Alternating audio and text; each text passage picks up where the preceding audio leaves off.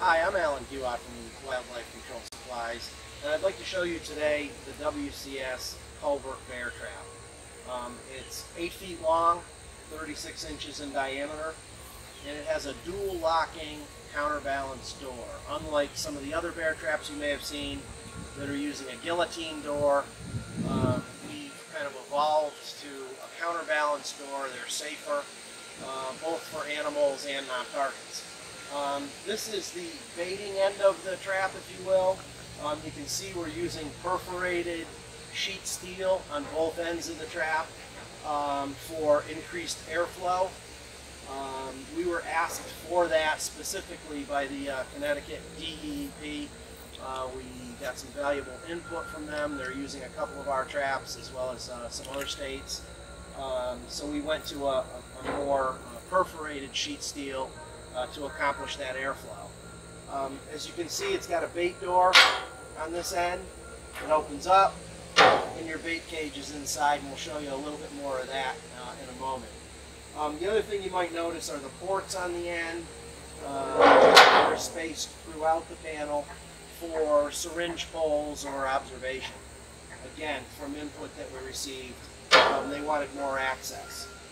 Um, and with that, uh, let's move around to another side of the trap and I'll show you some more features.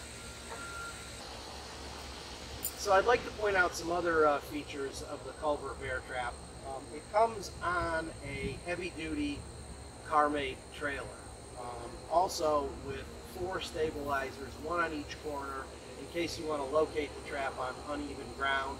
It also comes with a lockable toolbox for any of the components or other additional items, a pair of pliers, whatever uh, you may have on site that you'd like to keep secure.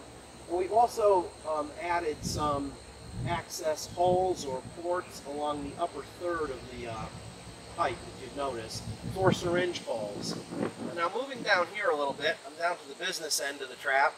This is the ramp that the bear would actually walk up, and there are two pins that release it. Um, so I'm going to pull this one and then walk around and you just lower the ramp and as you can see it comes standard with a piece of plywood mounted to the ramp so that the bear can easily walk up and into the trap, not walking on wire mesh. Now I've gone ahead and opened the door to the trap and uh, one of the things you might want to notice is the dual locks, one on each side as the door closes. They're going to lock onto these pins and the bear will not be able to escape. What I'm giving you here is a bear's eye view of the interior of the trap and you can see all the way to the rear is the bait cage. That's where you're going to place your attractive bait, whatever your choice is, um, that the bear is going to somewhat violently pull on and fire the trap. Now let me walk around to the back of the trap and show you how that's going to work.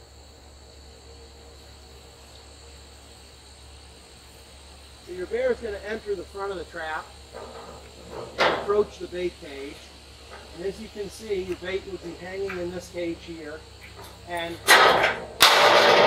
fire the trap. And that's it. Your bear is safely contained within the confines of the WCS bear trap. Okay, so let's pretend we've caught a bear, we've transported it, and we want to relocate it safely, release it. Um, the first thing you do with this trap is disengage one of the locks on the side of the door, which I've done here, and a pin is supplied for that purpose. So it's disengaged. Now I'm going to go to the back of the trap and show you how we open the door and safely release the bear. Okay, now I've come around to the rear of the trap, and I'm going to actually release the bear that we've got inside the culvert trap. You can see that I've attached a cable to the cross arms of the trap, and it runs all the way to the back of the trap, and you'll see more on that in a minute. Remember that I disengaged one of the locks on the door, and I can release the second lock on the door from the rear of the trap with this handle here. Okay? So if I disengage the lock, and at the same time pull back on this cable, I can release that bear. And that's the way it looks. A bear is going to run out. Um, it doesn't need to be open any more than that. Um, and you're all the way to the rear of the trap, not on top of the trap or in front of the trap when releasing the bear, as is common with some of the other traps on the market.